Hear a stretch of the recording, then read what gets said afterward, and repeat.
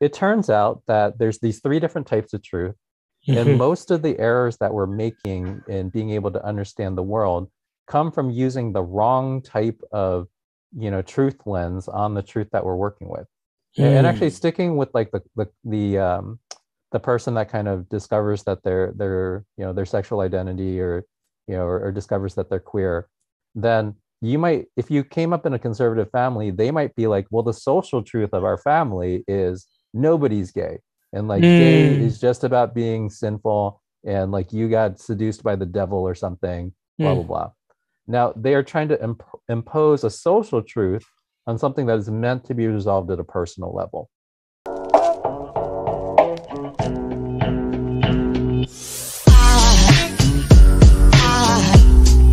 aside from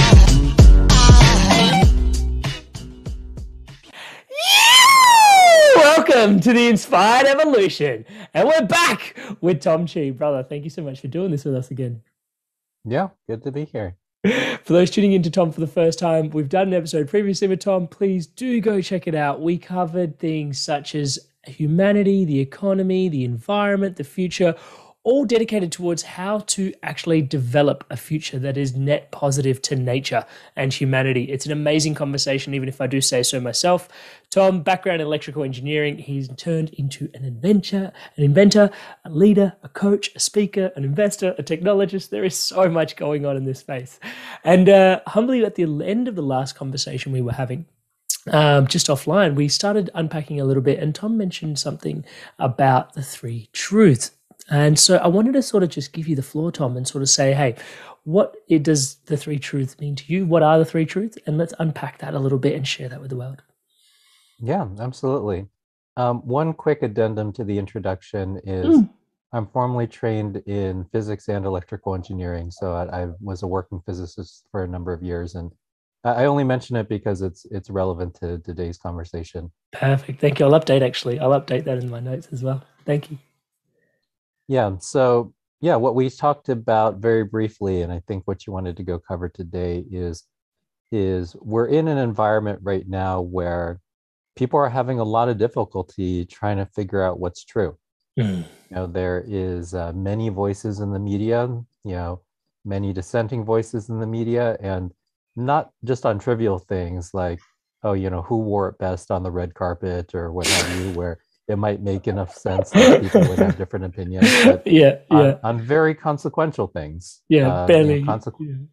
Barely oh, consequential. Sorry, I was going to say those things are barely consequential, and then you said, "Yeah, inconsequential things." Please don't let me interrupt. Yeah, yes, no, yeah. So, so you know, we are having major disagreements on on on very consequential things. Mm. You know, about well, how dangerous or real is a virus? How dangerous or real is climate change? How dangerous or real are you know whatever new technologies like 5g or what have you mm-hmm, mm-hmm. and mm-hmm. Um, i realized that a couple different things have happened in the last couple decades which have made it a lot harder than it used to be mm-hmm. so obviously you know way back when you know and i don't even mean that long ago 20 30 years ago then there were way fewer channels there was a couple major news sources and you would you would actually get a lot of blowback if you know your journalistic standards deviated substantially if you mm-hmm. ended up reporting a bunch of things where the other three networks you know ended up you know their reporters found out that your facts were inaccurate or incomplete or you know a little bit too early mm. and you know and actually people would kind of hold back sometimes to be like well i need to talk with more people on the ground our journalists need to do our work so that we can get the facts right you know it's a developing story but like we don't want to say too much about so and so and a number of things have happened since those days one is we moved to a 24 hour news cycle where it's not like a, a newspaper gets published you know once a day in the morning and people kind of like hold back and they try to get as many facts as they can in the day to go publish mm. out it's as soon as they hear something three seconds later the tweet is live mm-hmm. and like you know five minutes later like some kind of draft article is live mm. and um that does something pretty important around journalistic standards. Mm. The, the other thing that, uh, you know, because you just don't have enough time to check your work, um, and that's for the folks that are looking to practice journalism. But mm-hmm. the other thing that has changed is uh, the media environment has been saturated with a number of folks that are kind of pseudo journalists, but really more entertainers. So they'll, they'll be like, well, if you come to my podcast, I talk about the hard facts. And it's like, well, really? Are you really meeting journalistic standards in your podcast? Mm-hmm. I, I don't know about that actually. Like, you know, you did bring somebody on on board to just say some things. Mm-hmm. And um, you know, I don't want to critique that too much because I'm on podcast saying some things right now. So there's that. Mm-hmm. but but like when you really dig into that, then um, a lot of those folks are actually really more in the entertainment business than they are in the journalism business, mm-hmm, mm-hmm, right? If they mm-hmm. can say controversial things and get more people to to click on them, um, then great. Yeah, let's in fact bring on board a bunch of controversial voices, which mm-hmm. is a different criteria than the journalists back in the day, where it's like, well, who would be the most you know best suited to be able to speak to this in, in an mm-hmm. intelligent nuanced manner well, that's a very different thought process than, oh, you know who really makes people mad? Or, oh, you mm. know who's really getting a big following? And it's like, no, those mm. are just different criteria. I'm not saying that there isn't some merit to, you know. Yeah. So we're, right? we're poking at the subtlety between actually the, like having a subject matter expert that's previously gone away and had to do all the work in terms of evaluating multiple opinions and f- sorting out fact from fiction themselves versus who has the loudest opinion in a space yeah and and controversy absolutely does help you build an audience it absolutely mm-hmm. does get the ratings it helps you make money. So to the extent that you know um, a lot of these media outlets have really focused on financial survival then uh, or sometimes you know like it for the in the case of a 200 million dollar podcast like way more than financial survival. But like you know like to the extent that they are moving more into the monetary consideration than they mm. are into the journalistic consideration.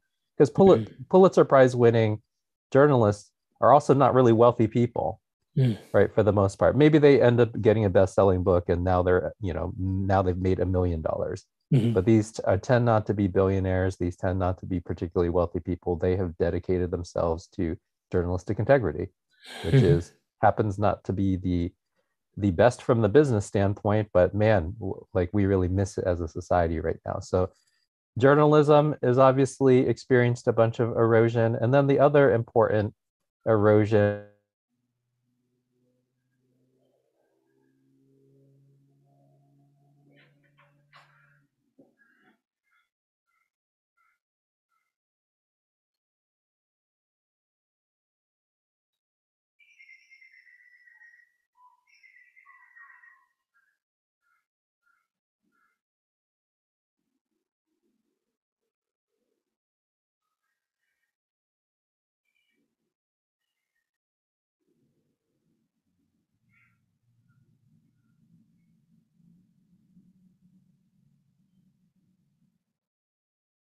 from a lot of people thing. And uh, so, you know, and they tried to make themselves sound better by calling themselves creation scientists because they heard, well, science, if you do science, then that's more legitimate. So we'll call ourselves creation scientists. And, and that will go and become an alternative theory that we actually just like better. Of course, these people didn't practice science in any any sense of the word. And you know, little by little, those sorts of forces have been kind of chipping away at you know society's fluency and and ability to make sense of scientific fact. Mm. So um, so anyhow, this is this is all kind of a prelude to really the most important framework that I want to share today, mm-hmm. which is mm-hmm. we have a, a simple word called truth, but really there's actually three types of truth. Mm-hmm. And the the first type is scientific physical truth. Yep. And the way to go understand this type of truth is it would actually be true even if there weren't people around. Mm. Right. And, and, this is why I mentioned it's like, oh, that that I am a, a physicist and formally trained in physics. Mm. Gravity exists in the universe whether there's people or not. right? Like yeah. the the solar system formed and that required gravity, and that was before the earth formed. We can look at how galaxies spin, we can see gravity doing its thing you know we can look back you know billions of years in time through our telescopes and basically mm-hmm. see gravity just doing its thing mm-hmm. which i think it would then be pretty fair to say that like yeah gravity has been working the way that it works well before there were people and mm-hmm. honestly you know if, if humanity doesn't last you know another 100 million years then it's going to keep on going after we've done our thing Yeah. And scientific truths, for the most part, yeah, they basically work whether people are there or not. Mm-hmm. You This know, is that um I'm what's resonating for me is that, you know, the ancient sort of proverb is like if a tree falls in the forest and no one's around to hear it, does it make a sound? And it's like actually if the tree falls in the forest, energy is dissipated. Whether there's Mhm. someone to interpret into sound is a whole other thing, but the physical like truth of like, yes, energy is dissipated. Um yeah, the reason that that's a Zen koan is it's really just the question if is sound a observer phenomenon or is sound the phenomenon of the Mm. thing itself? Because yeah. definitely like the air vibrated in a way that an ear could Mhm. receive. But if you Mhm. basically say, well, it's not a sound until I hear it, Yeah. then no, it doesn't make a sound. Mhm. But if if you're saying, well, sound is basically just the vibration of air, then absolutely. absolutely. Yeah. So so anyway, there is a first type of truth, which is physical truth, and it works whether there's people around or not. Mhm. And and you know, this is actually notable relative to the pandemic as well. It's like, did viruses exist before people evolved? Absolutely. We have a very long history. We can look in the fossil record at the evidence of viruses. We can date some of our viruses, you know, way back, you know, actually to time periods before humans evolved. Mhm. So Mhm. it's like, yes, you know, the basic construct of a virus uh, existed long before humans. It'll exist long after humans. Because even if we don't like a couple of the viruses and we wipe them out, then we won't wipe out all the viruses on the planet. It's just Mm. part of, you know, how um, how biology on this planet works. So it's like, yes, the the the you know the science of being able to go study viruses is the study of something that would actually still be running even without humans being around. Now, Hmm. the the study of a specific virus and its function in a human body, then yes, you know, you do need to, you know, uh, kind of focus in on that. And that's where, you know, it gets a little bit interesting because uh, if you use, well, if the humans weren't around type criteria, well, this particular virus infects a human body. But what what I will say is that, um, you know, even if that human body did not have, you know, uh, a lot of consciousness going on, would it have the same function or not? So if somebody got infected by um, by COVID who was in a coma, and let's say, you know, according to all our scans or whatever, there basically isn't very much brain function, then no, Hmm. the virus would still do its thing. It actually has nothing to do with the, what that person thinks about it.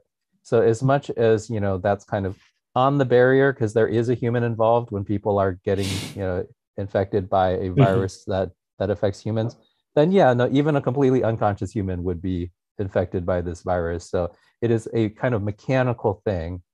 And this first type of truth, I, I'm going into some detail on this because this first type of truth is the type of truth that is best evaluated through science, Mhm. right? Because science is very good at trying to take an objective lens of things. It's Mhm. very good at you know improving its understanding by being able to look at many different iterations of a thing Mhm. uh, and you know and science works best in situations that are highly repeatable Repeatable. so when it comes to gravity if you drop an apple takes a certain amount of time to fall if you know 10 million people drop that apple the same distance just takes the same amount of time to fall Mhm. but like it, you know you can repeat that literally 10 million times and the laws of gravitation will, will work fine one thing that has been challenging about covid is that it is a virus that has been mutating Mm. so like science is of course like studying as much as it can about the initial variant and then the alpha variant and then the delta variant and then the omicron variant and all that sort of thing but no the, the specific you know things that the virus is doing is a little bit different each time Mm. but you know on each variant then you can do repeatable studies on on you know what that specific variant or kind of that family of variants is doing so anyway that's the first type of truth Hmm. Yeah and that's like scientific physical truth the grounded hard physical reality facts. Yeah. right and and stuff that basically is just going to work that way no matter what somebody on tv says or Mm. how big their following is or Yeah. it's like but if you think about it this way it's like the person in the coma could think about it a million different ways or not think Yeah. about it at all and they will also still get infected so Yeah. it So it does not matter not subject think about it. to yeah, not subject to perspective or opinion. Yeah. okay. right per- perspective opinion persuasion these are actually not useful ways to go work with Mm. that that set of facts so second type of truth is what i call social truth Mm. so like like an example of a social truth is you know madonna is a huge pop star or you know i guess who are the Madonnas of today? You know, I guess Lady Gaga for a bit, Dua Lipa now, whatever. Like Mm. whoever is a great a great pop star, Mhm. right? Well, you say, well, great. Like that clearly could not be a fact if people weren't around, right? Like a billion years ago, you can't be like, okay, Madonna's a great pop star. What does that even mean? There's no people around. What is a pop star, Yep, right? Madonna's not even born yet. Yep, yep, yep, yep. Well, and Yep. actually, even a billion years from now, like let's say there are no people a billion years from now, that would once again be Mm. a completely, you know, what is that statement even, right? Yeah, yeah, And social truths are related to what the majority of society believes. Mm. right? So, so, um, because like you know, could society have like ended up not liking Madonna's music and and a different person as the pop star? Absolutely. Mhm. You know, in fact, like who was the Madonna of 1850? Probably not many people have an answer to that. So Mm. clearly, like, you know, because the people that were listening to music, though there wasn't recorded music then, but the people that were in the circles where they could listen to, you know, people play live had probably a favorite back in 1850 Mhm, and we don't remember it anymore. So that social truth has kind of evolved, it's moved on. It Mm. is related to the, you know, kind of the totality of uh, the sentiment of a lot of people kind of thinking about a thing mhm, and uh, kind of feeling a certain way about it. Now, actually, the mechanism to be able to go discern, you know, what is happening on in uh, happening in the social truth is journalism right because mm, what you do is you basically go talk to human beings and if you know best thing is to go talk to the people that are directly affected called primary sources you know that that, that were literally at the event that literally saw the Mm. thing. And and you know whatever like the the beatles had their first couple concerts in the us and journalists came out and they talked to fans. It's like what was that like for you? And then mm, boom all these primary sources. And that is actually how they started to get like oh it's the british invasion. Like like they you know the, all these you know uh, british pop stars are making a huge difference in, in the us that was basically a developing social truth that was kind of tracked through journalism. And you you can kind of see where i'm getting at with these things right? Like in the in the intro i was like yeah kind of science has been under attack journalism has been under attack which means we've been attacking like the the way for us to figure out the first type of truth.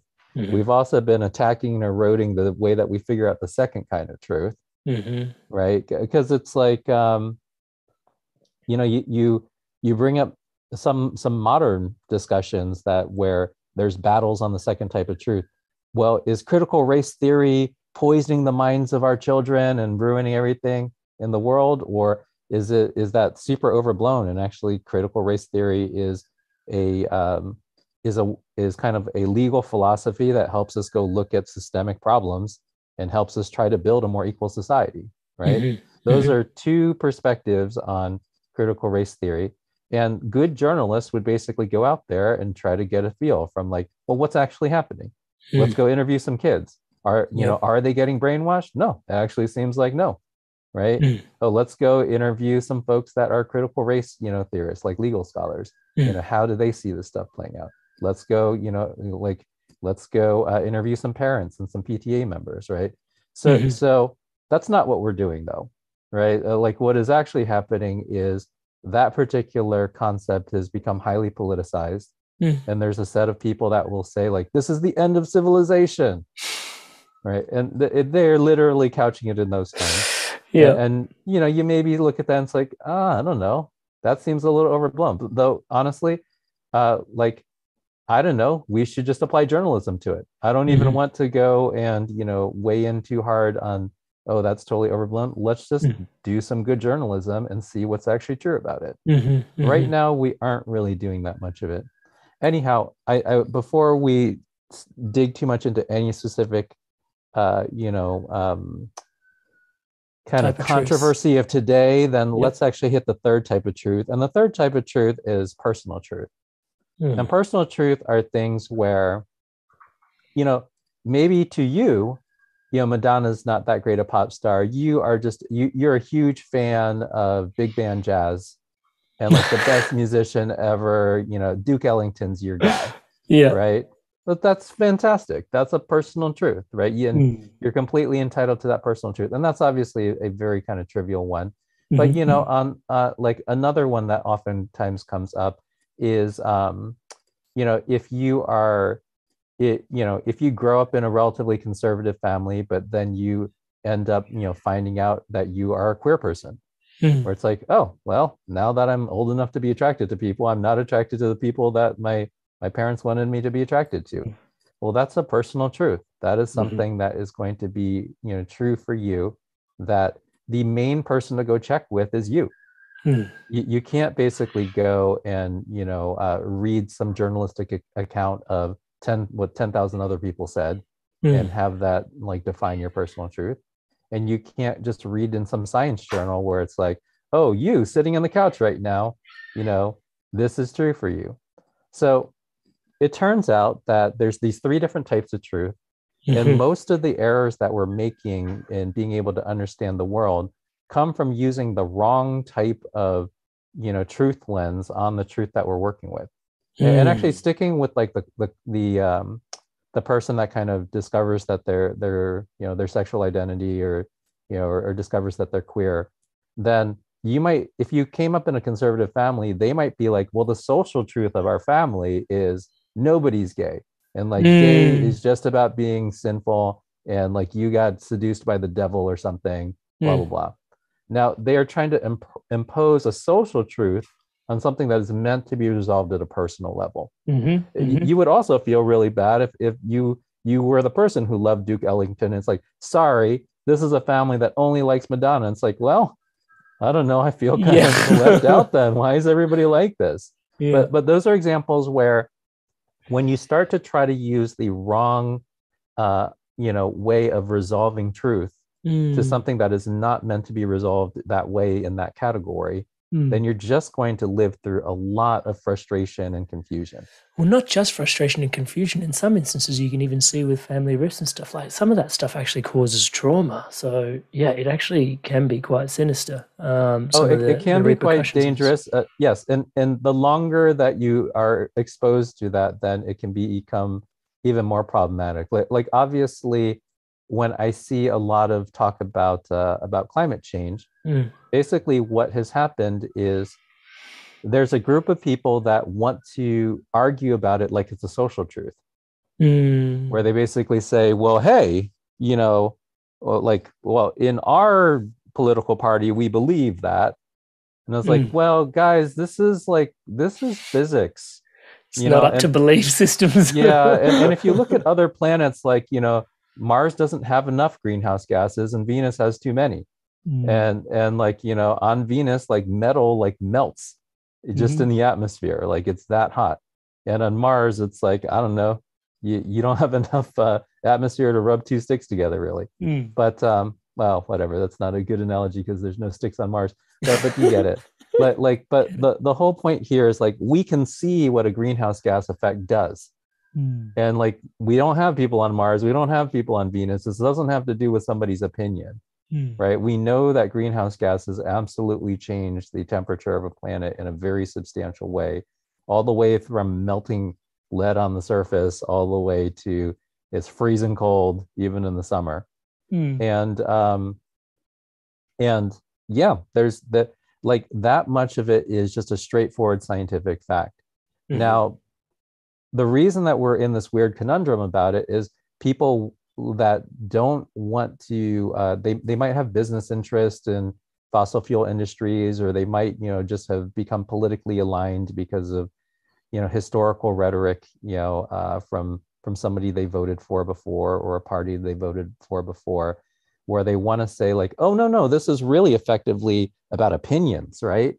Mm. right? This is really a social truth right mm-hmm. and if mm-hmm. we can get enough people like you know to to agree with us on this social truth then climate change is not real and it's mm. like guys you're definitely using you know category two resolution on a category one problem mm-hmm. like mm-hmm. sorry mm-hmm. like the physics of this just works a certain way and, and, and mm. in fact the fact that you're not talking to me in the language of physics means that no like probably what you're saying doesn't make any sense mm and this is actually what one should be listening for like when somebody's trying to go talk to you about a category one truth mm-hmm. then you should hear some things that are about like the language of, of data and science and and you know studies that are statistical significant and studies that have been peer reviewed by multiple scientists and this is not to say that over time scientists can't learn more and our understanding can't evolve and, and improve but it is always based off of well-defined studies and with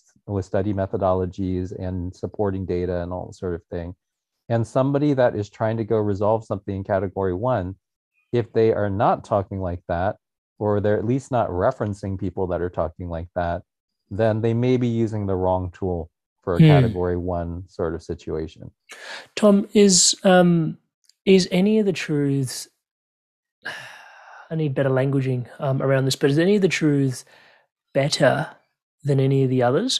Or is it just a matter of keeping things within context relative to what your context? Yeah, applying the right truth in the given the right context.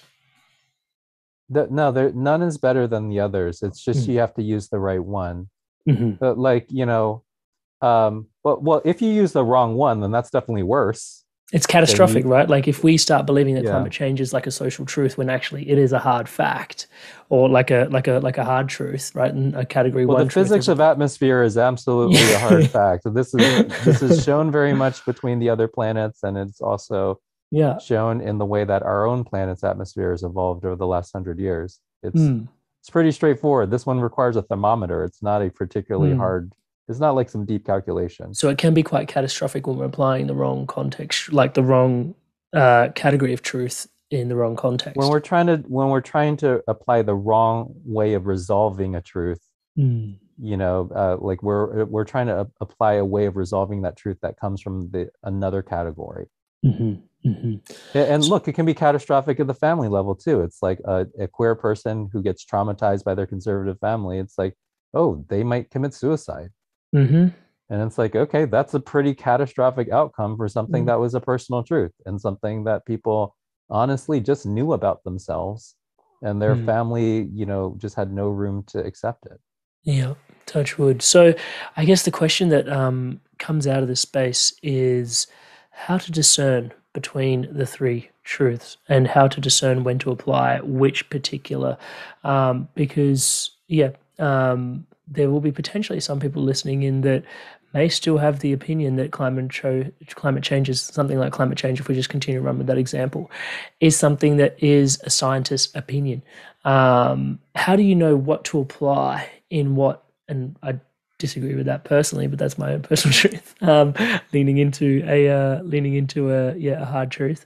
Um, but yeah, I think how do we discern between what what context we're in and which truth category to apply and to adhere to given any situation because i think therein lies the real the real art the real tact because yeah just to sort of bleed in a little bit of my own experience i remember I went deeply down a conspiracy theory rabbit hole, um, and it started um, way back when when I started getting curious about the origins of money. And you know, there are people literally you mentioned suicide, and you know, there are people literally taking their lives due to debt that they you know have in their life. And it's like what is this modicum of you know financial exchange energetic exchange that we have in our society um, that actually people take their lives over? And it's like well it's just money. And it's like yeah but where does the circulation of money commence from? And then started unpacking that and financial institutions and who runs them. And you know from there it was like all these other conspiracy theories started to flood in. And i was i thought i was on the journey of seeking out more and more truth but it was so you know, convoluted at a certain point, you know, and at the risk of, yeah, like I don't even want to sort of share some of the stuff that was sort of coming out, but,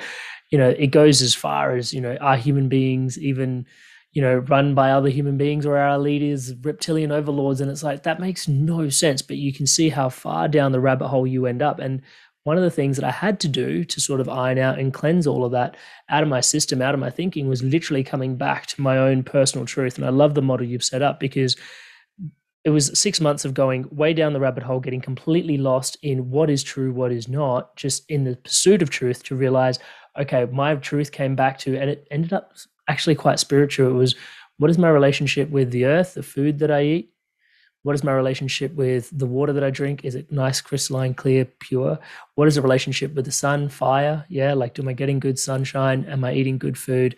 And what is the relationship with the air that I breathe? You know, am I breathing good, clean air? You know, and I literally had to distill it back to like core fundamental personal truth and just focus on that to have to sort of you know surrender all the neuroses that were coming in from all the explorations that was potentially true potentially not true a whole bunch of social truth for different pockets of social society stratum as well. So yeah i think all of that to sort of say how do we discern? You know for me i had to sort of go down like this real i had to go down the journey of getting all mixed up and convoluted and blah blah blah, blah and then have to go okay what is actually true um, for me. And that was like kind of, you know, going all the way deep into the shadow to sort of find the light of my own truth, if you will, put it that way.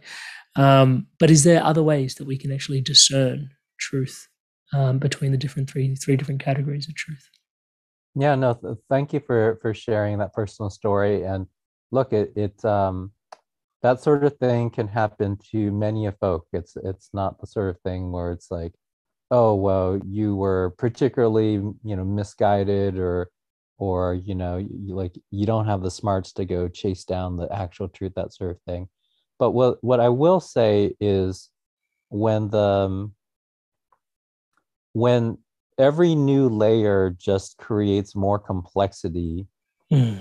then where where like you said so yourself it started to get pretty darn convoluted mm. it's like well if that's true then wouldn't this even crazier thing need to be true Mm. And it's like, hmm, well, that's at least a, a, a indication that we might be going down a direction where uh, if the more complicated thing is true, well, now you have an even harder job of, uh, for yourself to be able to go sort through all the details there. But like if the, you know, another explanation when things seem to get more and more convoluted is um, sometimes people will make more and more convoluted uh, explanations because they effectively need to believe a thing to be true. So they will keep on changing the explanation in, in order for it to stay true. Mm. Oh, you know, oh, I thought, um, you know, like Robert, uh, you know, F. Uh, Robert Kennedy Jr. was going to come back from the grave to go and show up at my QAnon rally. It's like, that's getting pretty convoluted. And it's like, well, mm-hmm. how, how come he didn't show up? Well, because he was at a concert. I was like, the what are we talking about now? Is, well, we're getting into some things that sound just a little bit um, far fetched. Yeah, pretty far fetched. Now, now, because typically what happens when you start to resolve things toward uh, truth using the right resolving vector is actually things get simpler and make more sense over time. Mm. Can you just repeat that? Because that is like that's a nugget right there. Oh, oh yeah. If you are using the right resolving approach, then typically things will get simpler and clearer over time, not more mm. complicated. Mm. Right, right. Which Look, if you if you know nothing about you know the function of viruses, then it might sound a little complicated for the first you know two hours where you kind of dig into it a little bit.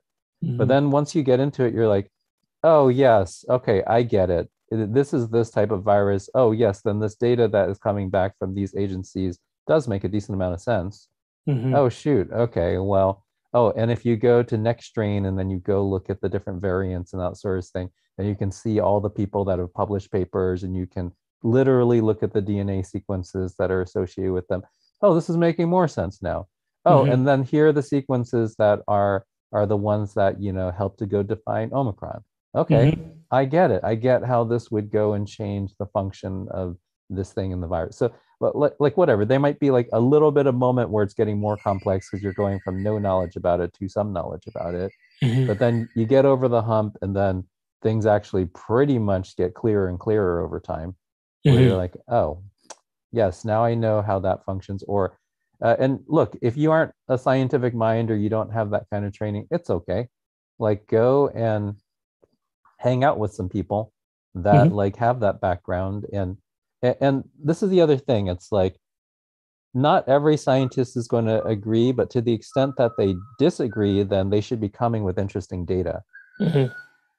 and you know there is a thing called the scientific consensus and what that really refers to is given that because the nature of science is that it's not a monolithic entity it's not controlled by government so that every scientist agrees the same with the with the same thing in fact, in science, you're actually are, are incentivized to to explore different perspectives. Mm-hmm. Because if you were to go publish a paper that like literally had nothing new in it, it, it wouldn't get published actually. Mm-hmm. Right. Or I, I mean, you can still publish the occasional paper, which is a confirmation of a previous scientific finding. But mm-hmm. if you wanted to make a name for yourself in, in academics, then you generally wouldn't. So the whole idea that there's a conspiracy of scientists where we force them all to agree, it's like that would be like not that professionally wouldn't make any sense. Mm, mm. But like like what, what's the benefit? Uh, like why would a bunch of scientists choose to publish completely not novel results? That doesn't make any sense. Mm. So so so like number one, scientists are not some cabal that are all unified that are and forced to agree with each other. In fact, like we are curious people that generally like to see if there's some other interesting thing around the corner or another mm. way to go look at the data that we currently have in front of us. But when the scientific consensus, you know, starts to converge on a thing, because part of the way that we we got into consensus on climate is scientists that weren't even studying climate started to get you know interesting climate like results mm. so hmm. for example like there would be biologists like studying you know a rodent population on a on a remote island and they would be mm. like oh rising sea level you know has basically completely eliminated their habitat i'm mm-hmm. not even trying to be a, a, climate scientist but clearly something happened with the sea levels out here because we mm. studied them for 15 years and now all their habitat's gone whoops yeah. so, so like those people weren't even trying to be climate scientists Mm. These were people that were just trying to be rodent biologists or something. And they're like, hey, by the way. And then, you know, people that like do geology and mining, they start, it's like, yeah, permafrost is all shaky these days. What's up with that? They're not even trying to be climate science. Heck, they might be trying to extract oil out the ground. Mm. But like, but like, you know, they are effectively getting data, which is supporting this larger idea. Mm-hmm. Uh, so, mm-hmm. and like, yeah, those people would definitely not be paid off to go and and say that you know climate change is real they work for oil companies mm. right like they should be paid off to be you know if anything they should be incentivized to be publishing the opposite but mm. like absolutely people that are kind of doing this uh this like you know geologic uh, prospecting for oil and gas are basically seeing these things in the nor- northern climates even though mm-hmm. it would be kind of a, against their company's interests mm-hmm. it's just what their papers say that's just mm-hmm. what the mm-hmm. data says yeah so, so it's like you should know number one that scientists are not just some unified cabal we we tend to pride ourselves on being independent thinkers i, I was a peer reviewer so like mm. i read other people's papers and and rejected many a paper where it's like oh the methodology doesn't sound you know seem sound your conclusions seem like too much of a leap relative to the data that are there and um, so number one it's not some unified cabal Number mm. two, most of the people that are, are seeking truth honestly don't make very much money off of it. Mm. Like like I said, the Pulitzer Prize winning journalists oftentimes they just have pretty regular salaries. They make 80k a year doing journalism. Mm. You know, hmm. the the the lab scientist that is like collecting the data or the biologist that went out to go study that rodent population, they probably don't even make 80k a year. So mm-hmm. it actually is an interesting indication as well. Like if somebody's making big dollars off of speaking and like being an anti-vax, you know, um, like scientist that mm. gets to speak at all the conferences, and mm. they literally have grossed six million dollars in the last year from it. It's like, hmm, is there another agenda there? yeah, maybe yes. Like, and look, like as a scientist, even then, like I would just still want to see the data.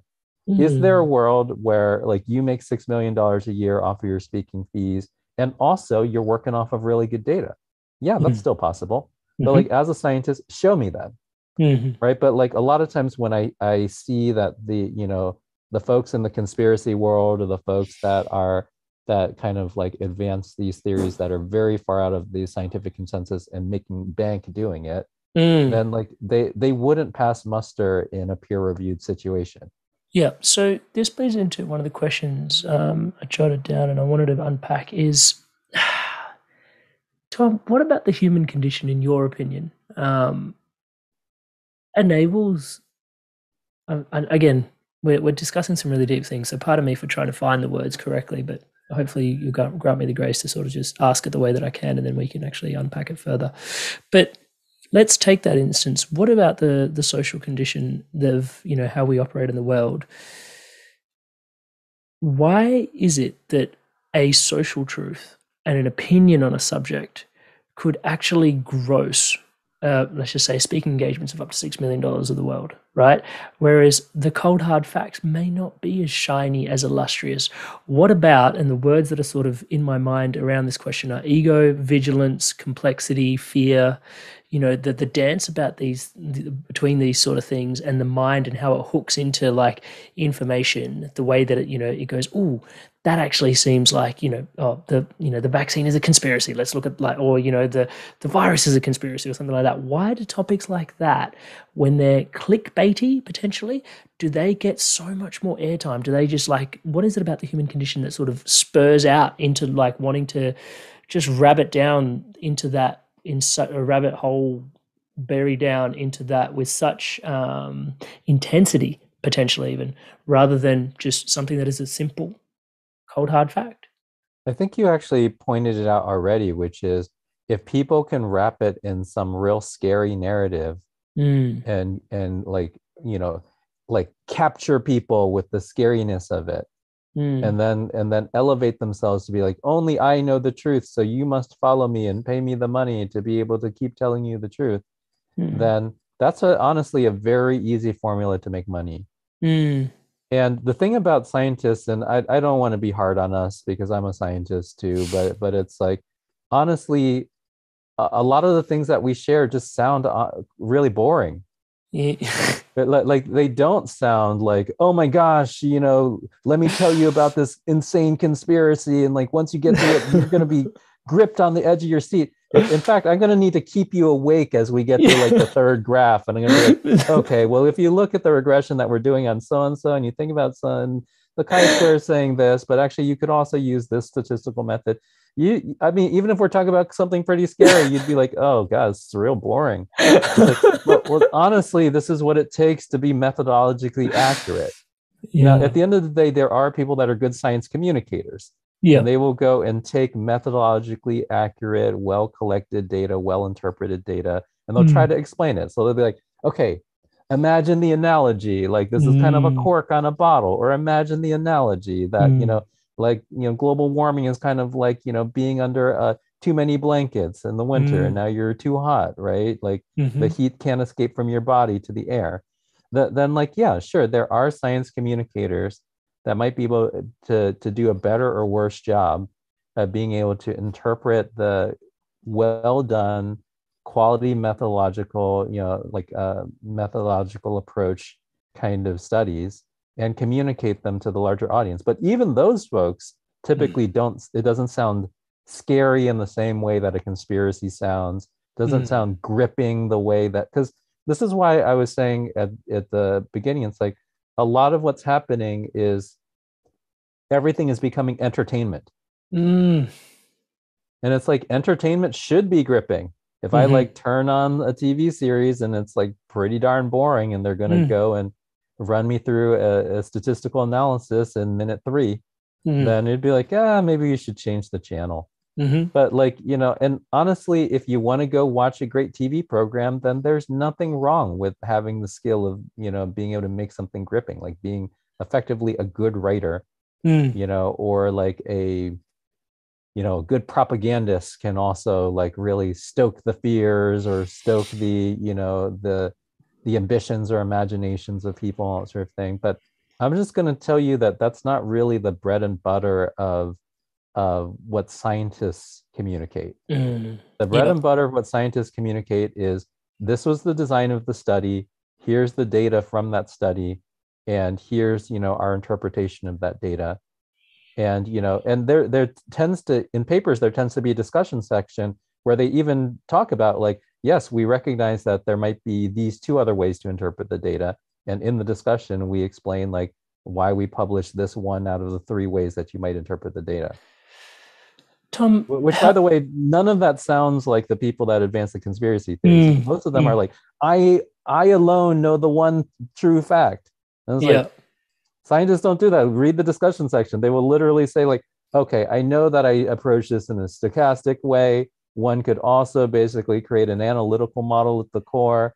And if you just did uh, permutations on the analytical model, that might also lead to interesting model outcomes. That's literally what a scientist sounds like mm. when they're talking about even the things that they've studied quite well.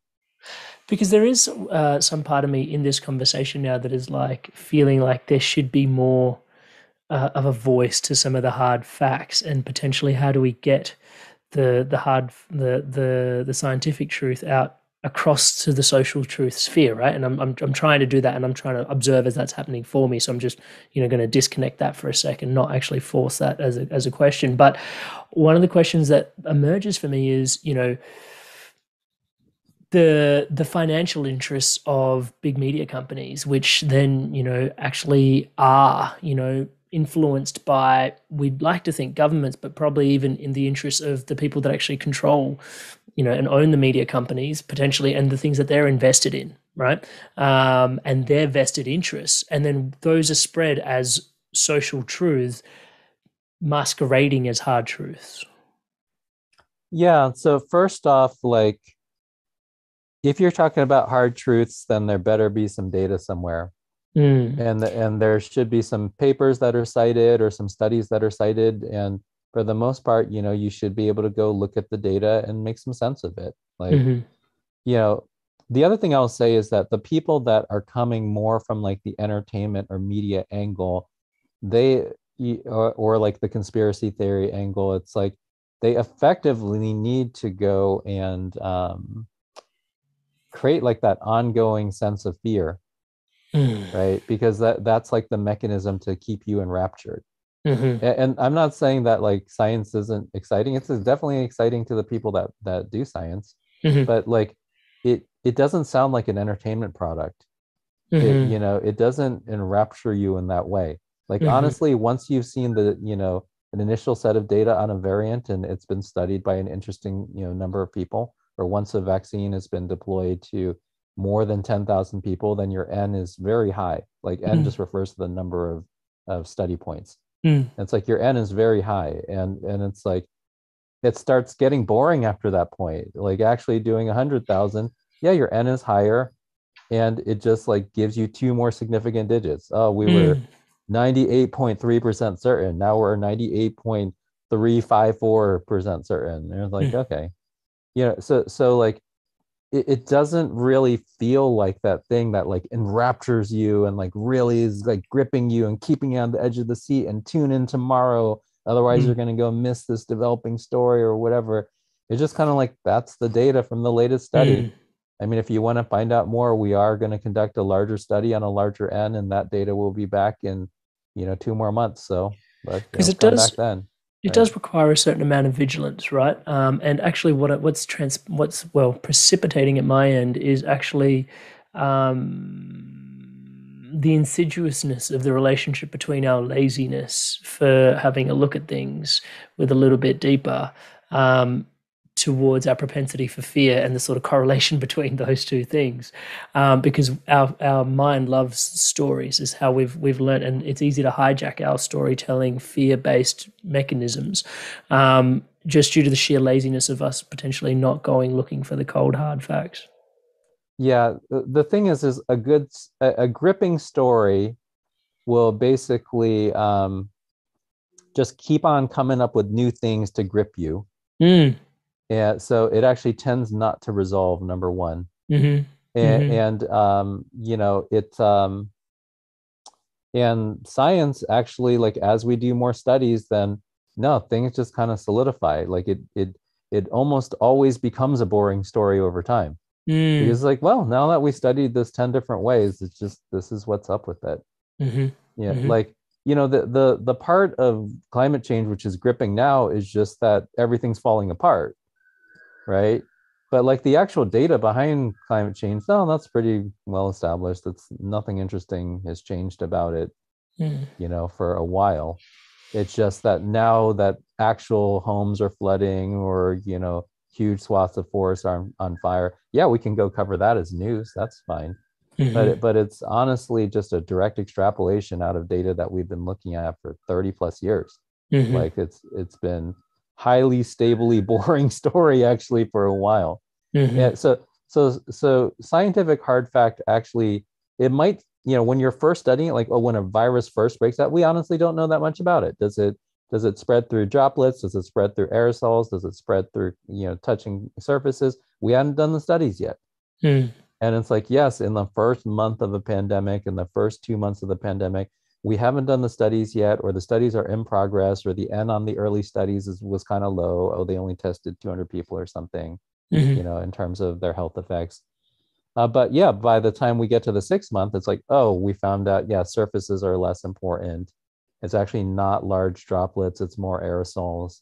You know, given that it's aerosols, then here's, you know, like then they we started getting to these secondary studies around like, okay, how does ventilation in a building, you know, affect it? You know, mm. how safe is it to do things outdoors versus indoors? And we did studies on that. And then mm-hmm. that got kind of boring. So so the nature of of science is not to make an exciting story over time. The mm. nature of science is to start with something that's like kind of unknown, and over time, like you have a feel for it, mm. and the feel stabilizes over time. Even if it started very wild, you didn't know whether it's surfaces or not, you didn't know whether to do a mask or not, you didn't know whether you know outdoor was safe and indoor wasn't safe or whatever. You didn't know that yet. Mm. Yes, at the beginning, and the press covered that breathlessly. So there's this whole interest, interesting intersection between the press and science as well, because that's exciting. That's like nothing, something, you know, uh, the press like breeds off of novelty. Like if things keep mm, changing, and uncertainty. Mm. Right. Uh, but like in science, it's like, no, we're all kind of in it to eventually make this boring. Right. Like we're, we're in this that like we eventually collected enough data where we're like, yep, here's the fossil record and here's another trilobite and here's another trilobite i'm not really sure how many hmm. trilobites you need to see mm. and you know how many mechanisms we have to age these you know to, to estimate the age of these fo- uh, fossils uh, before you're like oh the earth is more than 6000 years old it's like no it's boring now mm. and, and so so like the people that are incentivized to keep on telling you a really good story are maybe not doing science Mm. Right? Like that's not really what the resolution vector of science is. Science, mm. for better or worse, and and look, I'm talking about it. It's a boring story, but for scientists, that's a very beautiful achievement. You know, mm-hmm. I'm a mm-hmm. physicist. Like it took a long time for figure to, for people to figure out the laws of electricity and magnetism. Magnetism. Mm-hmm. It took a long time to figure out the the laws of gravity. It took mm. a long time to start, you know, poking into the atom and starting to understand some of the quantum behavior and i do think it's like a beautiful arc that we eventually collected enough data to be able to go and and write equations that like govern and help to describe how a lot of things are going to work mm-hmm. um, and quite consistently over multiple hundred years of practice now like the mm-hmm. bridges that we build like like stand up because the physics works mm-hmm. right like you know and you you see this if if the thing is true, you can also like really build with it. That's why we mm-hmm. want it to be boring at some point. You don't want mm-hmm. bridges mm-hmm. to be exciting. You don't want like microchips to work some of the time and not work other times. Yeah. Right? You don't want the medicines that you use to be just like all over the freaking place, mm-hmm. right? Mm. So like science actually tends to want to eventually make a uh, maybe boring's too harsh a word a very reliable story mm, stable like something yeah. something that's not changing something that doesn't have a new chapter to the saga Conspiracy mm. theories love a new chapter to the saga. Mm. it's like, mm. you know who's in on it now? Like, what? what are we talking about? Like, yeah. is this ever going to resolve? Of course not. Like, you're going to yeah. give up on the on the TV series that's that compir- conspiracy theory if there isn't some new saga to it. Mm. It's like, yeah. Is the um is the is the place to come home to for the layperson for the layperson tuning into this podcast if we're trying to come home to hard truth is it a matter of utilizing tools such as Google Scholar, you know, tools out there that actually access us to scientific journals, scientific input. Um, what would be the layperson's access to cold, hard facts? And I ask from a place where potentially it doesn't even have to be so. Uh, technical is the word I'm going to run with because even in the example I used before I recognized in this conversation you know when I was down the conspiracy theory rabbit hole you know me coming back to earth fire wind and water it's actually me just grounding into cold hard facts that's you know it's like you know earth is what the food grows out of. What is my relationship with soil you know water is you know the lifeblood of the planet you know what does my relationship with water and it actually was me basically you know bypassing back all the social truths that i couldn't sort of reconcile into the simplicity of what is cold hard true for me and just oh yeah no, no i love it because actually basically you you stepped out of the miasma of a bunch of people angling to win the social truth game mm. right because like the you know of these truths honestly the social truth one is the funkiest one Mm. right like you know if you if there's a personal truth where it's like you know a person knows that they're queer or they like prefer to have spicy food or not spicy food or whatever it just it's done there's nothing Mm. too complicated about it right Mhm. I I mean, society might dislike you, right? Like uh, if you have a very anti-queer society or you live in a place that only makes spicy food, they'd be like, "Oh, this guy's coming to the restaurant again. Get out of here!" Right? But you know what your personal truth is. That's my my whole point. Like that's Yeah. actually relatively straightforward. Mm. Scientific truth, even though it it does, you know, it does help to like have some scientific literacy and training and that sort of thing. Um, it actually is relatively straightforward Mm. collect data you know uh, identify patterns go and test your hypotheses on those patterns and collect more data to go see if they're true. Mhm. and the more that that happens repeatedly the more that you can kind of get into the boring side of a thing where it's like yeah that's actually pretty well established. Like 5000 different teams over the course of 20 years have all tried this and experiment turns out this way. There's less than 1% variance in the results and that's just what that thing is Mm. right? The social truth is the funky thing in the middle because let's Mhm. say you know keeping it trivial for a second let's say you got one set of madonna fans it's like madonna's the best pop star in history and Hmm. another group of folks is like no screw that like pop music and madonna's totally garbage like the only like the best person in history is this hip hop artist. And it's like, Mhm. okay, I got it.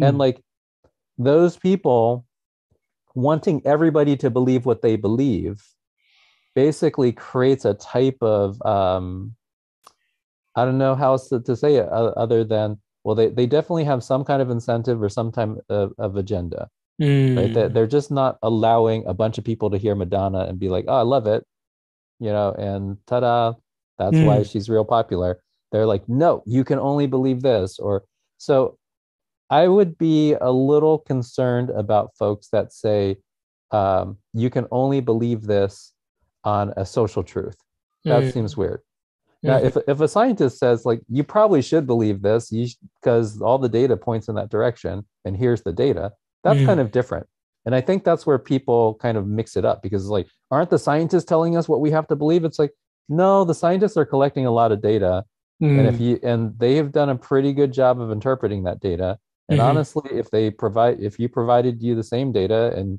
you have a little bit of you know skills in math and a little bit of skills in being able to understand scientific methodology you probably come to the same conclusions like yes they, they don't need to force you to go and believe the thing but Mhm. in a lot of these you know folks that have an agenda around a social truth you know are are transgender people like the downfall of civilization or are they just people that are trying to live their lives and stuff and not be bullied or killed it's like well there's one group of people that are trying to advance the first thing as a social truth Mhm. and then there's a bunch of other folks that are like no it's the second thing Mhm. Mhm. so so when when you do talk about like you know people trying to advance social truths then you should ask a deeper question which is for the sake of what Mm. right like are you doing this because uh you just want to be justified in hating a minority group Mm.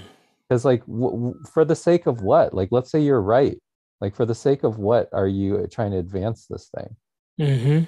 Right Mhm. and like that's what i would ask of a number of folks that are kind of clearly talking about things that are social truths and seem to have an immovable opinion about it Mm. It gets pretty insidious with the social truth at times, especially with, you know, the internet's almost one of the most amazing things in my lifetime for sure. Um, but also there there's the echo chamber effect that occurs, right? When you've got social media, it's like I've been searching X X X X Y Y Y Y Y. Next minute, most of the things that get targeted through cookies and cookies basically mean tracking, the things that keep getting fed back to me are X X X Y Y Y Y Y. Whereas if you were searching A A A B B B B B, the things that get fed back to you are A A A B B B B B, right? And it's interesting because that enforces what we believe to be our social truth as our personal truth, right? so um well at the end of the day like you know you you can go that, that's actually a really good thing that you're bringing up which is if you go and examine a bunch of things that you believe to be your personal truths Mm, and then you ask yourself well where did it come from? Mm, then a lot of the if all of your personal truths came because your social group around you just said you need to believe this otherwise you're not in our group Yeah. then that's not exactly a personal truth. Hmm you know what i'm saying like, let's say you, you grew up all around folks that were super racist hmm and now because of it it's like well my personal truth is that you know people of color are all like whatever Mm. they're all lazy you know they're all Mm. thieves they're all whatever stereotype you want to throw out there Mm. and it's like is that really your personal truth where'd that come from hmm well you know Mm. like dad taught me and it's like well Wonder where Dad got that from. yeah i, I know. so so so it's like yeah uh, like like to the extent that you know uh, and look when you look at your personal truths if you were to just list down every possible thing that you believe like imagine you just take out a sheet of paper and on whatever topic you just wrote down the five things or the 10 things that you believe about it it actually might be a useful exercise to to first ask yourself well which type of truth is the right resolving truth for this Mm. Does it make sense for society to decide that all people of color are terrible Mm. uh, is that even something that's supposed to be resolved with social truth Mm. question one question and whatever let's say you answer it how you answer it but then second question is you you say like well given that you know like how i'm seeing is the right way to resolve it have i been using the right way to resolve the thing then Mm. right um, and then relative to the ones that you you believe that are your personal truths you might ask yourself like well, where did it originally come from? Was that something you know i just talked with somebody and that sounded like it made enough sense to me and i just adopted it and never questioned it again? Because like the personal truths that i think that are really um that are really defining of your character and defining of you as a person are the ones that you kind of need to struggle or fight for a little bit. Mm. Right Yep. Yep. Big time. so- Because I think. Sorry. Oh, sorry. oh yeah go for it Well, I was going to actually, as you were sharing, um, I was just reflecting back on my own journey. And through my adolescence, I actually had to lose a lot of. This is really hard to acknowledge, but even I had to lose a lot of friends because of the differences in our personal beliefs. But collectively, I'd absorbed so many of other people's beliefs. And, you know, to the point where one of the things I end up saying in my coaching is like, I actually ended up losing one of my best friends to negativity.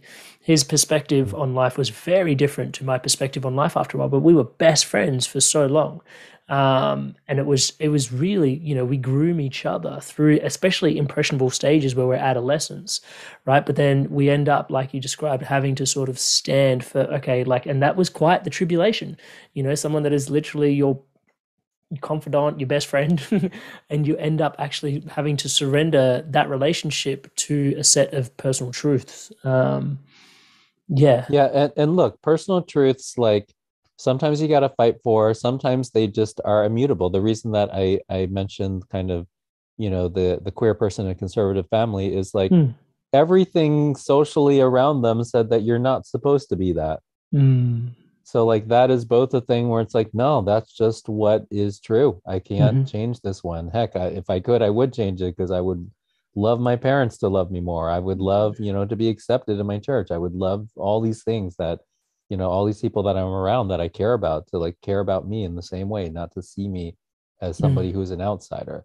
And like when you need to go fight for your personal truth in that way and and really in the name of love too right? Like all the things i'm saying are not because like oh i have a personal truth that like all people of color are bad i'm going to fight you for it. I fought for my personal truth. It's like i don't know if that's really in the spirit of love right there. Mm. but like most of the people that like need to fight for their personal truths in the spirit of love then it's like yeah that's kind of the the real deal. That wasn't just a thing that you inherited from the people around you and you never questioned Mm. right? It it took some effort and ultimately you're doing it because like you you are really you know both in that case both caring for yourself and then wishing that the world would would uh, be open to you know both receiving love from you and and to be able to uh, receive love from the world. So so i think what will happen when people are trying to to um you know manipulate a situation is they will in like purposefully bring the wrong kind of resolution approach to a, a particular thing. Mm. Where, where, like a thing might be a scientific truth, and they'll just like grab a bunch of commentators. It's like, well, what do you think about it? And of course, this mm. person's like studied political science or something. It's like, this is not a climate washing. Person. Yeah, wow, washing right, it away with is, the drama of social truth. Right, exactly. So it's like, oh well, we've well, our entire panel of five experts agrees then there is no climate change, and it's like, oh that's not how this works guys like yeah i mean if this was if you brought five climate scientists on board and they showed the data from their studies and they shared their methodologies and they had an open discussion about which methodologies are more likely to get you know accurate collection of data on this or that i would listen to that mm. but to go mm. just bring on five pundits and you may know this person because they have 200000 followers on instagram it's like that's a very bad qualification to be a scientist right I'm just saying, like that doesn't sound like how uh, the a qualification for a scientist. I'm not saying a scientist can't also have 200,000 uh, followers on Instagram, but that's not how you would go and get a sense to be like, oh, yeah, yeah, that's the right thing. Yeah, you know, there are places, and it sounds um, very old-fashioned, but there are places that just have different incentives. Like in a library, there is a nonfiction section and there's a fiction section. Mm and they're like not out there to make all that big library money because what is that even right like no one's getting into the library business to, to, like you know buy yachts yeah, and there's, stuff. There's no rap songs about libraries. yeah, and, and, it's like you know it's actually quite nice, right? Like like people that are incentivized to just you know like a library scientist is just incentivized to organize information well so that people can get to it Mm. You know, a scientist is incentivized to do studies that are methodologically sound that could be repeated by other people. Mm. Right? They're they're not incentivized to tell great stories that are going to get the most viewers and bring in the most ad dollars and create controversy so it gets the most shares and blah blah blah. And to the extent that that and look, I'm not saying in the modern world that any, you know, person that you might listen to might not have a little bit of blend of both, but you should go and ask yourself like is their primary driver like those you know the subscribers and shares and ad dollars and controversy mm-hmm. or is their main thing to actually eventually get toward truth and honestly as more time goes on it just actually sounds more and more boring because mm. like the the data you know just eventually gets established on that and it's like well i think we looked at enough here so we're just going to talk about a different topic now mm-hmm. right mm-hmm. i love that Tom, there's a question that's precipitating for me, which is um, there's two parts to this question. Firstly, um, so it almost, almost for the for listening in, it almost feels like, and I'm conscious to say almost very clearly a few times because this may not be the model, and if it's not, then please don't take this away. Um, which is there's our personal truth almost within like a small smaller sphere, followed by the social truth, which is in a bigger concentric circle that sits outside of it, followed by the hard truth, which is actually, you know, even in, in an even bigger concentric circle sitting outside of that.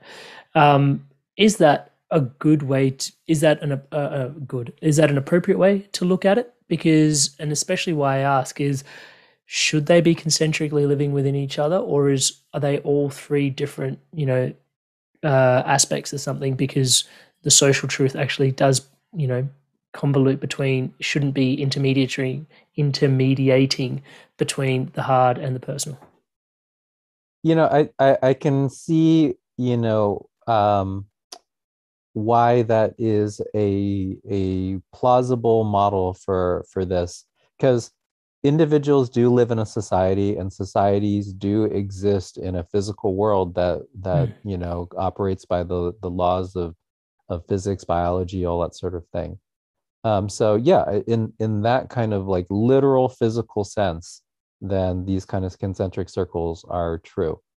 Um, and actually, it points out a, a, really interesting thing because we've talked a lot about how social truth is kind of the the fudgiest one, mm. but like in in practice, it's like um, you know the society that we should eventually get toward is the one where you have the most harmony between these levels mm. right? Because if we were to adopt a um, a social truth that around the philosophy of how you build an economy, mm. but it was actually built in such a way that it couldn't work with the the physical truth, the scientific and biological truth of like like how to keep planet Earth livable, Mhm, then mhm, eventually you you you have to give up the social truth, right? Because otherwise you're going to extinct, you know, all life on the planet.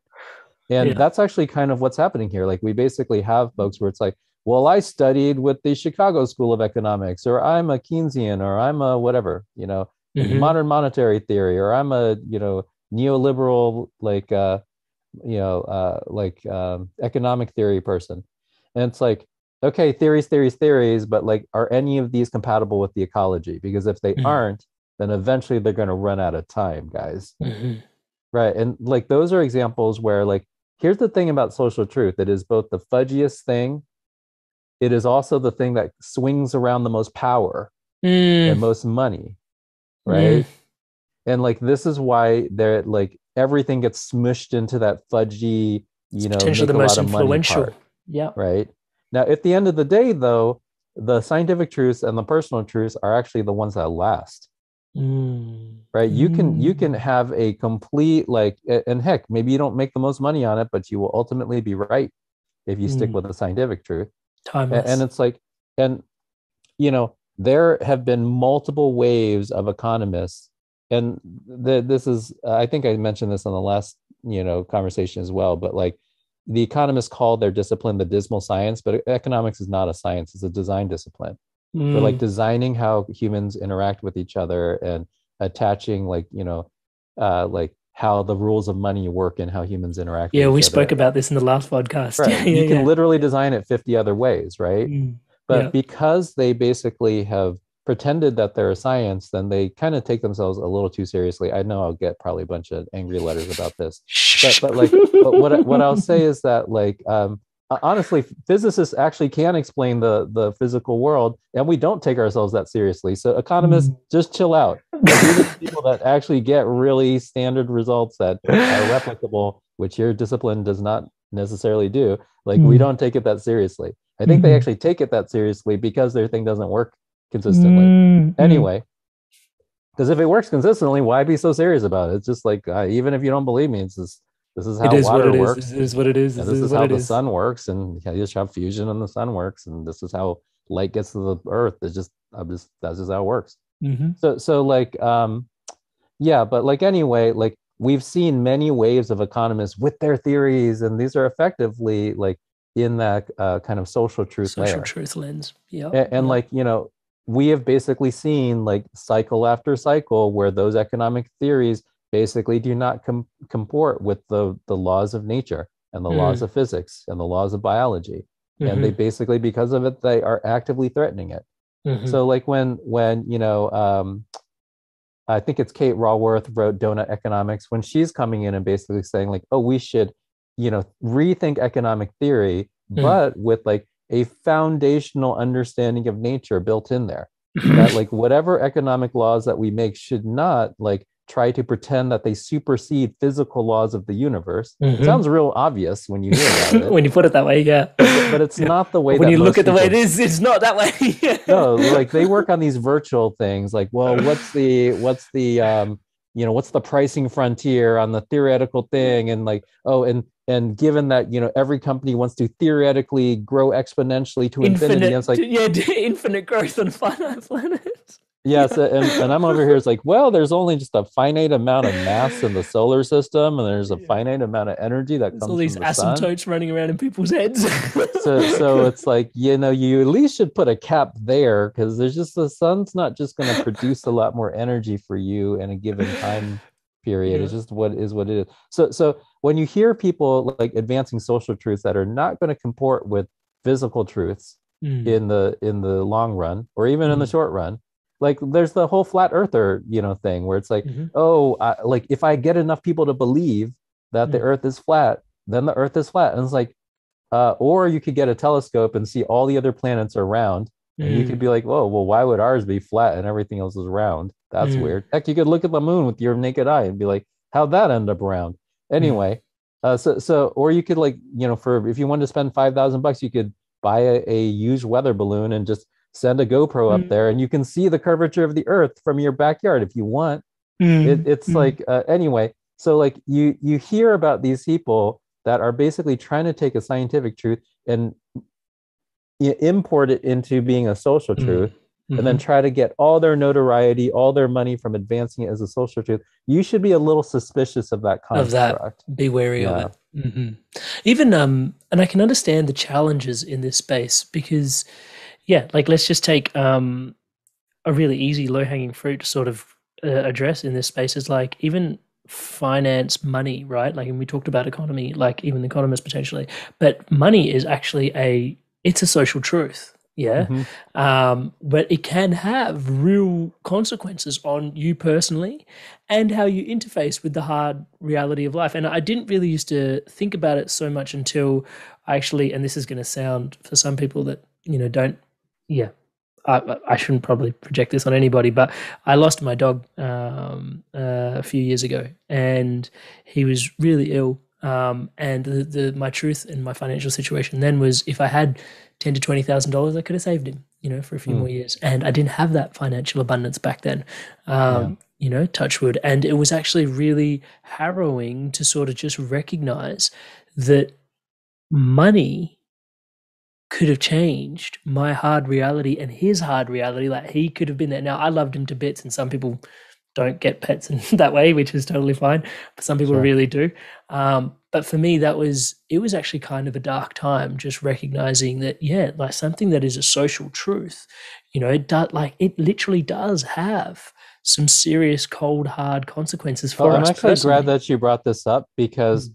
To the extent that we do have the debate on social truths, because you know the nature of social truth is that it is a little you know fuzzier and all that sort of thing then to the extent that we are having serious discussions on social truth, then that's the place where we should be looking at like how do we, we create a more beautiful world together? Mm.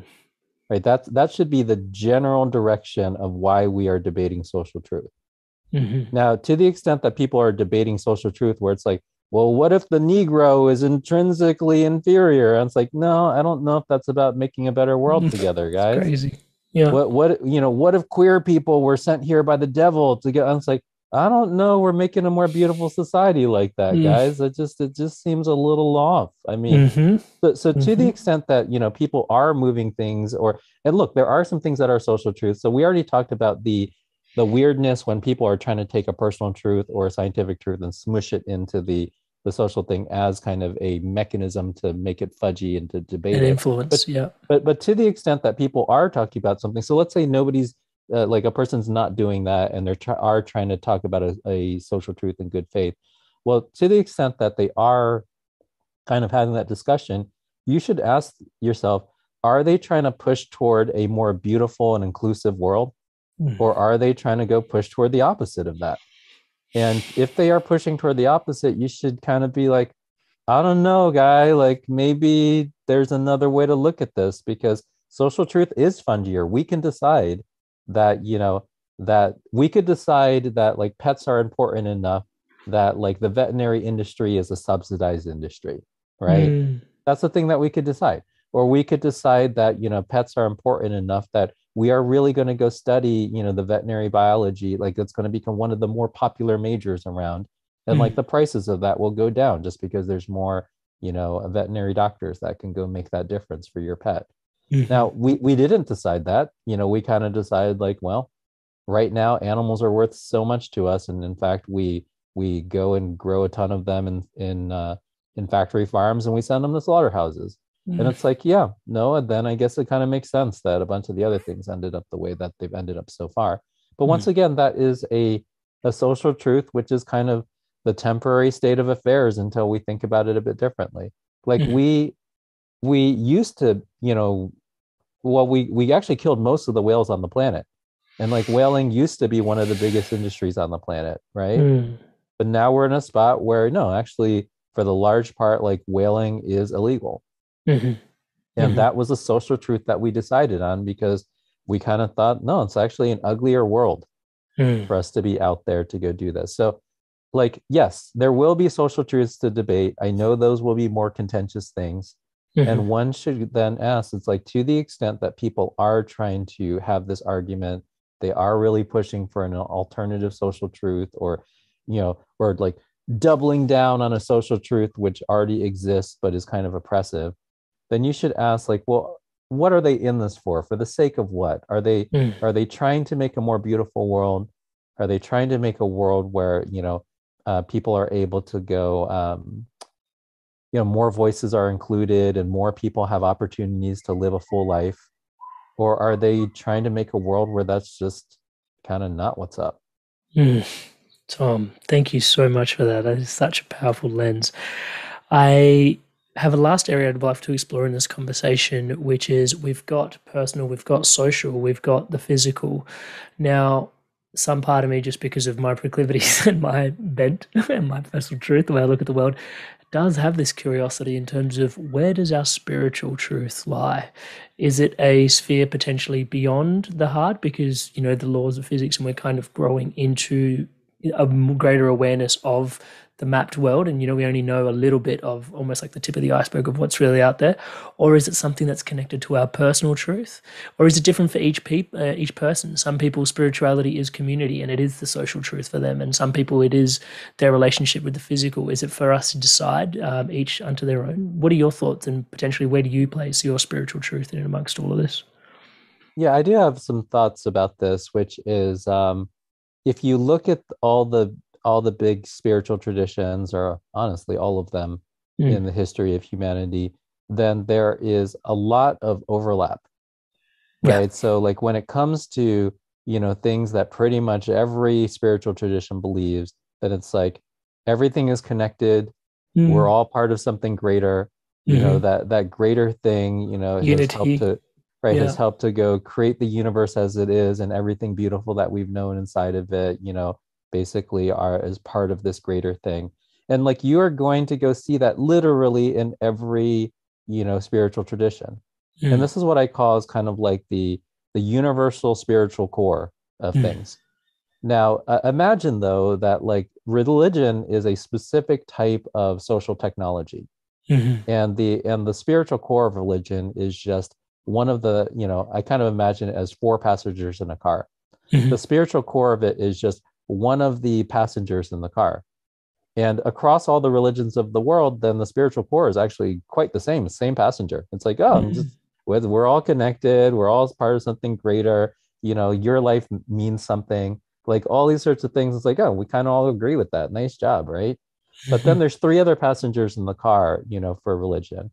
One of them is the you know the the one that makes laws. And what what i mean about this is for a long time we didn't have the written word and a number of our our religions like predate like widespread literacy. They definitely predate the Mhm. printing press but they predate Mhm. widespread literacy Mhm. right? So it actually meant that religion was not only an important technology to share spirituality one the governance. in the car but we needed to share laws like governance. Governance so that's why it's like you know things like an eye for an eye or like oh if you if people commit adultery you stone them to death or whatever. These are basically some old laws Mm. right? Th- these are laws that might have made sense back in the day because back in the day you know your tribe might be five extended families.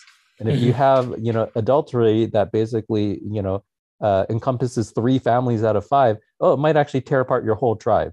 So Mhm. even though it's extremely brutal to go stone a person to death you're like no that was kind of the best law for the day. Like it was better than having like 80 people in our tribe all fall apart just because three families are now fighting because of adultery. Whoops we'll just stone these two people to death sorry about that now, now look that's brutal and dumb it's barbaric, actually- but it's but it makes sense for the for the right, right. time. th- Yeah. That's not the law we should have anymore. But you can Yeah. understand why laws like that appeared in these, you know, religious books because Mm-hmm. they didn't have another technology to go pass along ideas of law. So Mhm. one of the other passengers in the thing is is law. Another passenger in, you know, the the car that is religion is is metaphysics, which is basically how did the universe come to be? Why are why are things physically the way that they are? Mm. So it's like, oh, world was created in six days, and, and oh, you know, and maybe I'm pushing too heavy on the Judeo Christian thing, but it's like, oh, Mm. you know, uh, like it's all turtles all the way down, like whatever. You're gonna Mm. go have some metaphysics here, right? Like Mhm. an explanation as to why the world is the way that it is. Mm. And in modern times, honestly, just science does a better job of it Mm. why did this plague of locusts go? Well, God said we to have a plague of locusts. Well, actually, we know now that grasshoppers can basically go into a locust light, you know, you know, a locust state of behavior mm. given these sorts of environmental inputs conditions yeah yeah science just explains it better than like god's wrath it's like no mm. no no this was kind of explain that um, and then the, the the last passenger in the car is a mechanism of propagation mm. and that might be through you know go out there and procreate or it might be oh go out there and evangelize and convert or it might be you know go and like launch crusades in order to like convert the people at the you know from the you know, like using the tip of a sword and it's like okay so anyway all the all the religions in the world have got at least those four passengers in the car mm. mm-hmm. like honestly all the religions in the world basically agree on the spiritual passengers literally mm. the same passenger. That's why i kind of yeah. think that like that one's fine. Like we should just kind of get on the same page and be like oh yours says that too? Oh yeah. Mine says that too. Cool. Mm. shoot. Oh it's just you know like you call yours christ consciousness and mine i call mine the Tao and you call yours whatever. It's like yeah. Okay that's fine. But mm. we just basically agree actually. It's kind of the mm. same thing mm-hmm. uh, but or Buddha nature, whatever you want to call things. It's like no, that we're just calling the same. Yeah, we just had different words. It's the same thing. Mm. But then on the other three, we need to go be careful, right? Because mm. those are the places where the conflicts arise, right? Mm. Like you know, well-meaning people who like believe very strongly in their religions might fight science because they're like, oh, it challenges the metaphysics. It's it needs to the world mm. needs to be created in six days. The world needs to be turtles on top of turtles on top of turtles, right? Mm. And it's like, no, guys, I mean, I think we are a little past that one now. Uh, or they'll they'll be that literal about the laws too. They'll be like, well, according to our laws, we cannot ever, you know, allow such, you know, this kind of person into our home, or we shall never allow, you know, these two people to marry or whatever. It's like, I don't know, man. You know, like this sounds like another one of those stone everybody to death things. Like, we, maybe we're a little past that now. I mean, mm. I don't know. Go look at the laws. Maybe that's still appropriate. you, like, people want to be stoned to death, but like, yeah, yeah, no, um, yeah. So we just need to be more careful. I'm not saying to just like, you know, that those you know ideas didn't appear in those books for any good reason Mm. Like, yeah, they might have had a good reason, especially at the time of writing, might have been freaking fantastic reason to have yeah. those particular things. But just to understand that there's four passengers in the car, that the most important one we all agree on. Mm. And then the other ones, yeah, we got to go make our way as to like what is the mm. the right way to make sense of you know the other passengers in the car based on our our particular spiritual upbringing. And so that, that religious pas- upbringing, yeah, that passenger that we agree on this, I love. Thank you so much for unpacking that. That was actually super, super delicious because, yeah, just the the governance, the metaphysics, and the evangelization, like the opportunity to sort of, you know, see how that is actually connected a lot to social truth um, in many ways. You know, um, the my question i feel and those are the conflict points right because yeah. the metaphysics was like you're trying to make a social truth a thing that's a scientific truth mm, yeah right yeah and the, whatever keep going no exactly exactly that, and, and it's been it's really profound to just be able to distill that and sort of go these other three passengers actually fall into this realm of truth um, when spirituality is actually a pursuit, some may argue, um, for that universal truth, that unifying factor, that beauty, that love. Um, so, question still stands: Does the does that passenger, in your opinion, where does that land? Does that land? Because I know that it's part of me and this is my personal truth, is it lands within the realm of the personal truth and the hard truth, because the hard truth is consistently growing into that universal truth, if you will. But that's my perspective, and I don't want to make that other people's perspective. So, what what are your thoughts on that last pass that that key passenger that is actually uh, the passenger we agree on? Yeah, yeah. Actually, what's interesting about it is um, we actually are literally all connected. Mm. Like that is actually a scientific truth too. Mm. Um, yeah, and and I actually have a whole TED talk about it, and I and, yeah. and you the the one at A Fest I did as well, yeah. which is like the twice as long as the TED talk where I really get yeah. into it. I basically just lay out, yeah, here's the scientific truth about the spiritual assertion that we're all connected. It's like, no, it's just actually literally true. Here's how. Mm.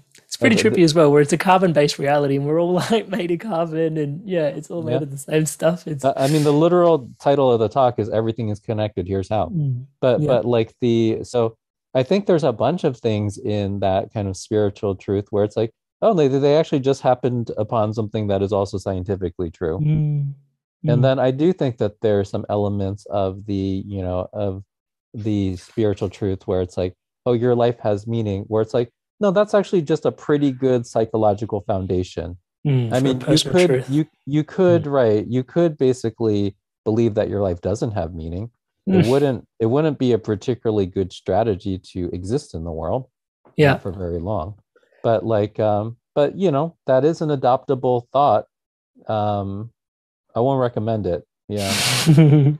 I love that. Thank you so much for distilling that down. It, it feels wow yeah, like the the three concentric circles: personal truth, social truth, and uh, scientific truth, and just yeah, distilling. Hey, religion has a lot of other things, you know, that were it's necessary tools and technologies, and and those yeah. were the right passengers for most of history before we for had the printing press, yeah. before we had the ability to build off of each other's knowledge in a substantial way. Yep and you know, all of that supporting our our social truths. Yeah and then right. the, the all of those all of those technologies supported the longevity of the societies that you know adopted the religion. So it makes mm. sense. Yeah. And you also make sense why people are so protective of it. It's like mm. well it's how it's how our society that's how we got here. while, right? Yeah. yeah. yeah. So so like absolutely honor and appreciate all the things that got you there. But mm. then to the extent that the three other passengers start to like make a ruckus of things where it's like oh now i'm needing to teach my kids that the earth is only 6000 years old and they can't and like they're having fights with their biology teacher or whatever. Mm. it's like i don't know. This yeah. uh we're missing social, it a little bit now. Yeah. Social truth. Yeah. And i love that um yeah spirituality the uh, interconnectedness lands squarely in our personal truth and in the hard truth as well. That's just that's beautiful man. Tom. Brother Thank you so much for this incredible, incredible, incredible distillation. One of the big, big, big things that's been harkened at today that's really taking away is, you know, I did a podcast with Marianne Williamson and she talked about this conversation around waging peace. And it, it feels very appropriate in this conversation for me as well. One of the things I'm taking away is that, you know, it's like waging love um, and you know with with that beauty that you mentioned as well because and wage is an interesting word because it has sort of this this energy about it, but it really feels like that because I can see that, you know, when it comes to truth and especially social truths, it's almost like there is some level of vigilance required, um, uh, or at least an, an, an, antidote to our laziness um, because we so like it just creeps in. Like we take other on other people's beliefs just due to sheer laziness of not wanting to look at the cold hard facts or you know trusting someone else at face value. And it's not that we shouldn't be trusting but just giving ourselves the permission to sort of have a little bit more vigilance and bit, like, overcome our laziness just a little bit when it comes to important things such as truth. And you know some may argue is there something even more important than truth? Uh, it's the name of my son actually in sanskrit such means truth. So means something to me. And this conversation has meant a lot to me as well, brother. So thank you so much for doing this with us today, Tom. No, no problem at all. And uh, for those tuning in, I'll put links to the things that Tom has described, especially his other talk as well. Um, everything is connected. Will definitely be in the links as well. And uh, yeah, Tom, on behalf of myself, the Inspired Evolution community and audience, as always, wishing you all the best on your journey forward. Awesome. Thank you. Hey guys, if you enjoyed this video, give it a like, leave us a comment, and if you want to stay in tune for, every, for new episodes launching every Monday, hit subscribe, and I'll see you in the next video. Stay inspired to evolve.